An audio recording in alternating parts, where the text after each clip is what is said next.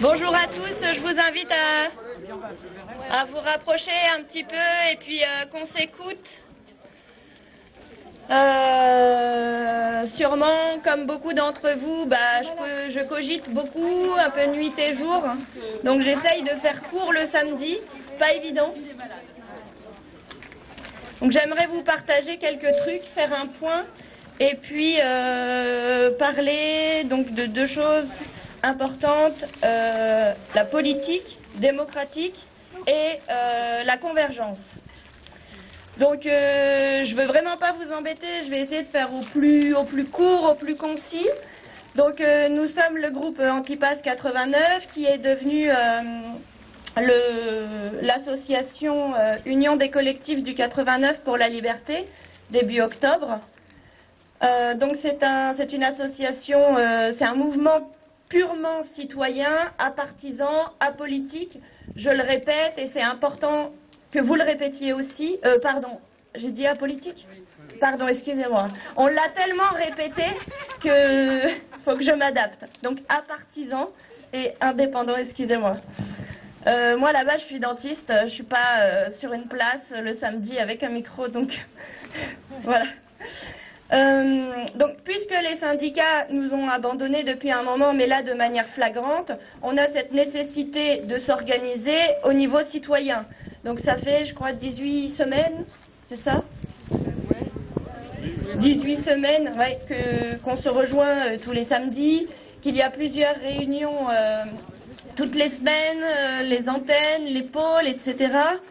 Donc c'est l'intelligence collective qu'on essaye de mettre en œuvre et qui est notre force. Donc évidemment, on se bat pour la réappropriation de nos droits, de nos libertés fondamentales, pour que justice soit faite, pour que l'intégrité, le respect, l'équité et la dignité de tout, un chacun soient retrouvées et respectées. Donc là, avec les dernières nouvelles, quand même, euh, on atteint des sommets pour cette mascarade en ce qui concerne notre gouvernement. Et en réponse à cela, c'est notre intelligence collective qui, elle aussi, doit viser des sommets. C'est maintenant que c'est en route. Ça a commencé. Euh, enfin, je pense que le peuple a toujours essayé de s'organiser, mais ça se précise. Euh, euh, les Gilets jaunes qui se sont appuyés sur Nuit debout, et puis là, les antipasses. Enfin, tout ça, c'est une continuité. Et si je vous dis tout ça, c'est pour euh, cet appel à, à la convergence dans cette idée de la convergence, puisque le 20 novembre, il y aura ici la marche des colères qui va euh, allier les différentes colères. Donc on passera tout à l'heure la, vidéo euh, Sand, je ne sais pas où tu es, mais tout à l'heure on passera la vidéo d'appel qui est très explicite. Donc du coup ce sera même heure, même endroit, euh, il y aura juste une ambiance un petit peu différente, mais de toute façon on fera différents arrêts. Chaque arrêt sera l'opportunité de parler d'une forme de colère contre le pouvoir d'achat ou contre le pass sanitaire ou euh, contre l'absence de démocratie. Et d'ailleurs, euh, s'il y a des gens parmi vous qui se sentent euh, l'envie de faire une courte prise de parole sur une thématique spécifique sur ces colères, n'hésitez pas à prendre contact avec nous, Assemblée populaire d'Auxerre, ou moi, la mal coiffée, ou les gilets jaunes qui traînent, il y aura bien un qui sera vous représenter. Voilà.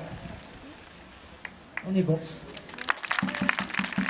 et qui a été mis en place le suffrage universel. Donc ça, c'est les deux fondements de la démocratie.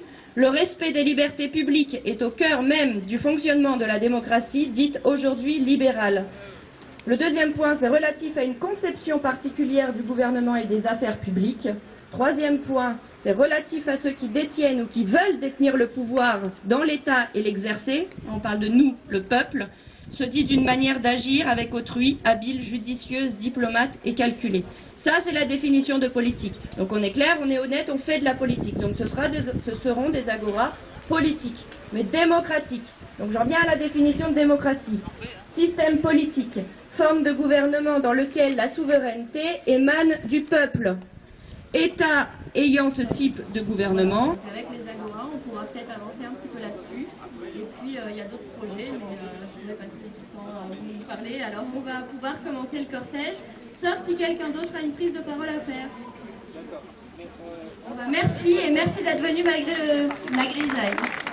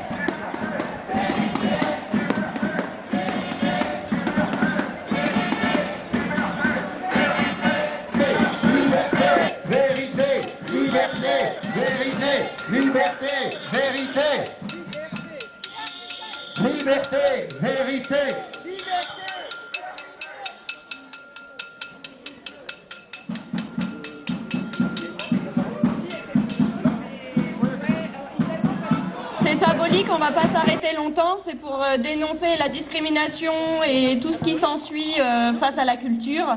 Donc on va donner la parole à Daniel. Merci Pauline. Conformément à la Déclaration des droits de l'homme et du citoyen, nous demandons que la liberté de chacun soit respectée afin de choisir ou non cette injection. Nous réclamons une égalité de droits pour tous les citoyens et refusons la discrimination envers les non-vaccinés. La fraternité est notre leitmotiv pour construire l'avenir. La solidarité est source de partage d'idées, de bienfaits, de joie et de bonheur entre les individus. Merci à vous.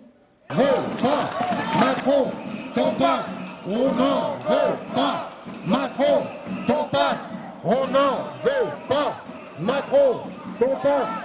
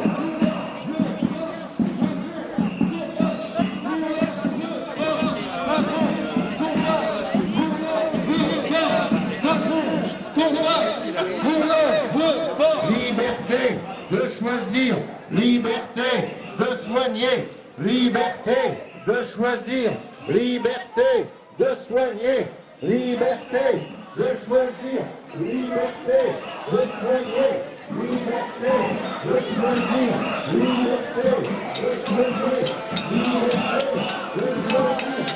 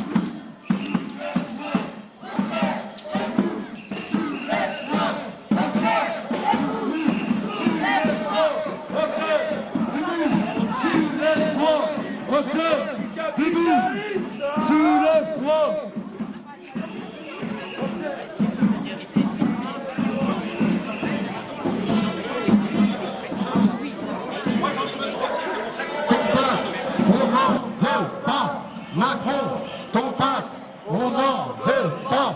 Macron, Ton passe, on n'en veut pas. Macron, Ton passe, on n'en veut pas. Macron, Ton passe, on n'en veut pas. Macron,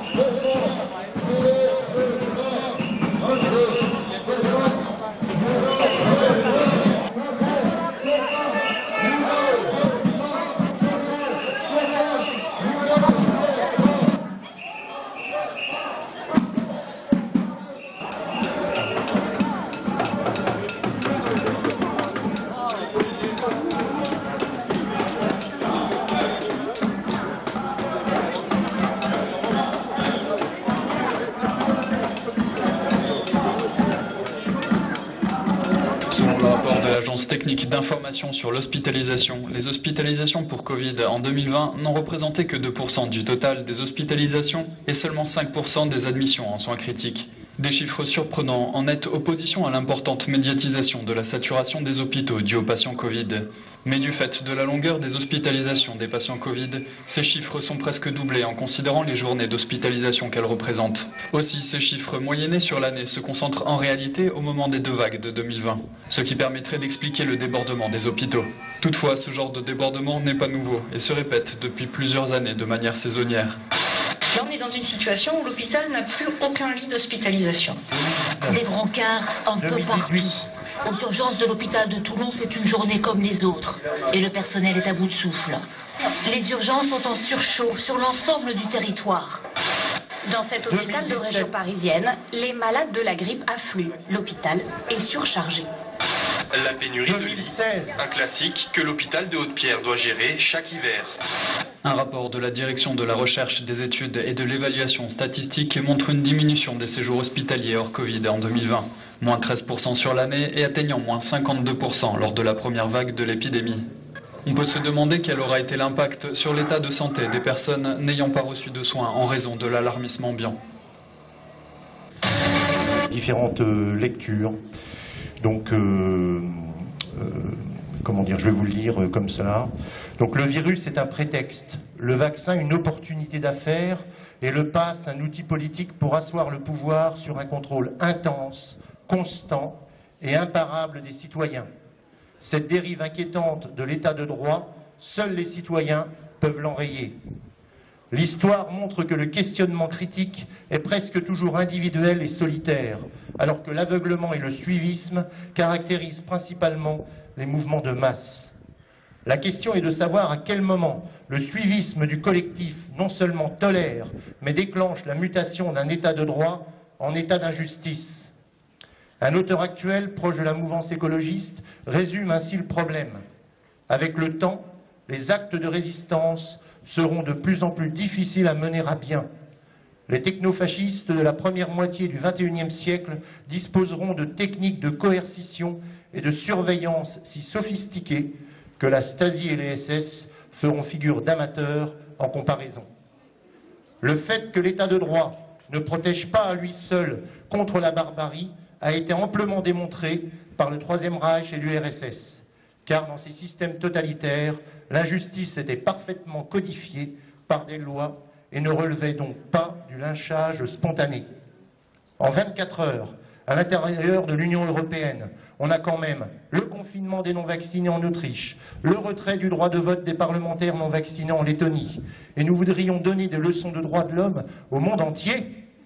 J'ai appris qu'une enseignante d'un collège de l'Oise avait été suspendue pour avoir refusé de porter le masque qu'elle considérait comme nocif pour l'apprentissage du langage. Le pass sanitaire comporte à la fois l'obligation indirecte de se vacciner et la discrimination des non-vaccinés, ce qui est totalement injuste, car il est désormais admis et démontré que les personnes vaccinées infectées transmettent autant, sinon plus, que les personnes non vaccinées. Même le directeur général de l'OMS confirme que les passeports de vaccins sont discriminatoires et que les enfants ne devraient pas recevoir le vaccin et que les, les injections sont inutiles pour prévenir l'infection et la propagation du Covid. À la lecture du rapport de l'Agence technique de l'information sur l'hospitalisation, chargée de récolter toutes les données sur les hospitalisations, on constate qu'en 2020, seulement 2% des hospitalisations étaient liées au Covid. Alors oui, c'est une hospitalisation qui dure un peu plus longtemps que les autres, mais seulement 2% et 5% en réanimation. Ce qui fait dire à la psychologue Marie-Estelle Dupont que l'on a donné l'impression que les services étaient pleins à craquer de patients Covid, alors que ça n'était pas le cas. Quand on disait qu'on en faisait trop, qu'on était dans la peur et l'hystérie, eh bien, on avait raison. Les chiffres sortent. On a confiné, on a jeté des jeunes dans le suicide, on a fermé des écoles, on a interdit à des soignants de soigner. C'est tout simplement scandaleux. Un certain Jean Jaurès a dit Le courage, c'est de chercher la vérité et de la dire. C'est de ne pas subir la loi du mensonge triomphant qui passe et de ne pas faire écho de notre âme, de notre bouche et de nos mains aux applaudissements imbéciles et aux huées fanatiques.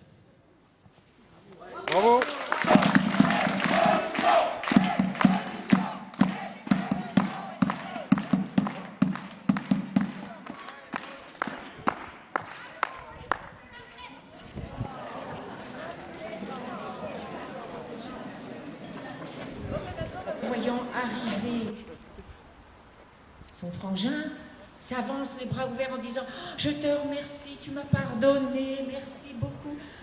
L'autre est un peu surpris, mais ma foi, il se l'espère et voilà qu'ils se réconcilient. Alors, il y en a un qui dit au journalier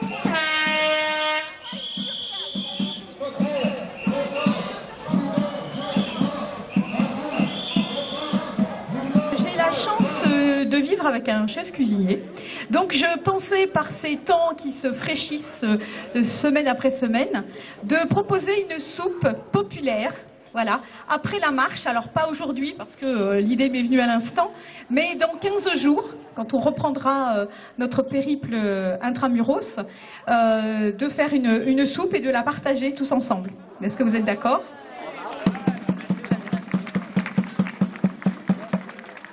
Merci, merci.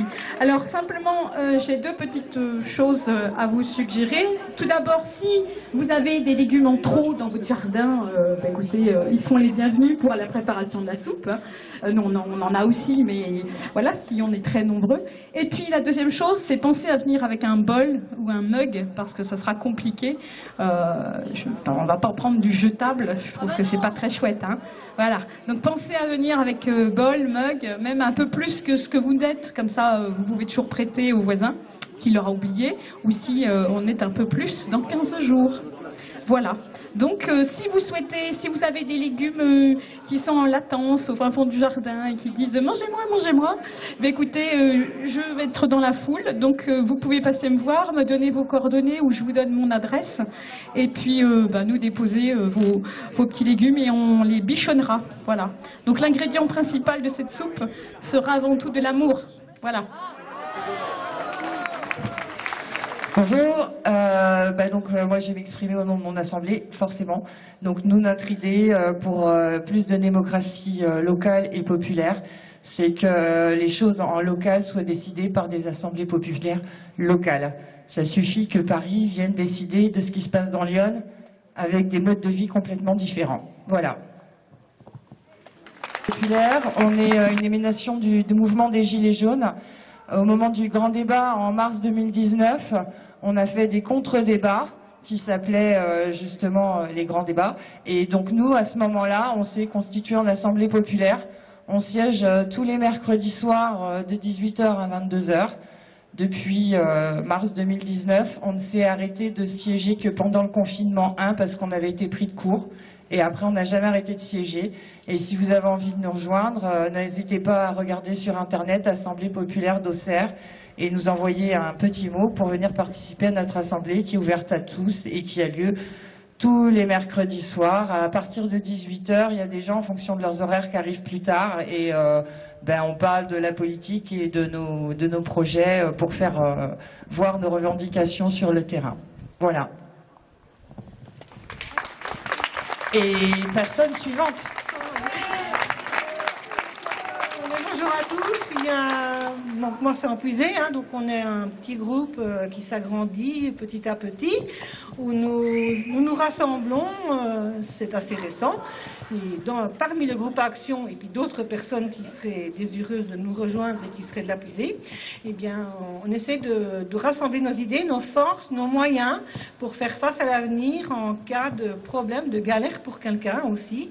Un peu une sorte euh, d'arche très complexe, mais qui soit localisé. Et nous, moi, je pense que l'idée serait bien que ça se répande un petit peu dans toutes les autres petites loca enfin, les localités comme ça, les petits groupements, les cantons, pour que chacun ait des forces et ne se retrouve pas isolé sur le bord du chemin en cas de, gros problèmes.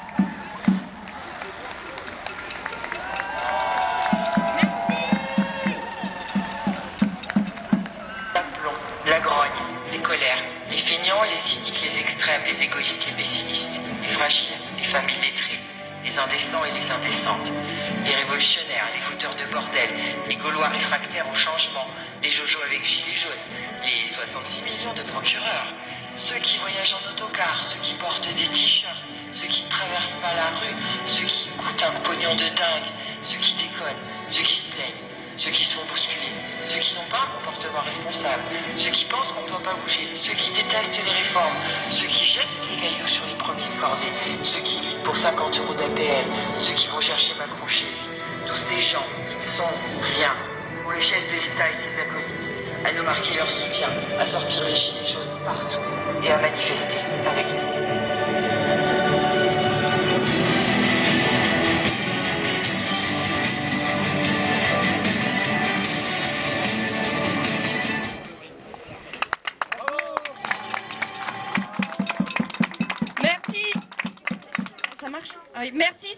Ce message, merci pour l'appel, merci pour les, les gilets jaunes, les autres mouvements qui luttent, merci d'être là sous la pluie.